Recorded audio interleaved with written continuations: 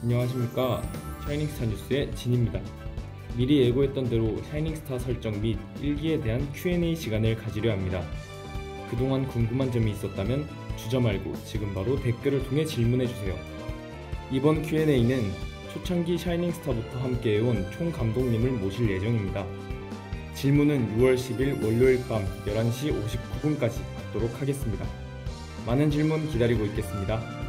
그럼 지금까지 이번 Q&A 뉴스의 앵커를 맡은 진이었습니다.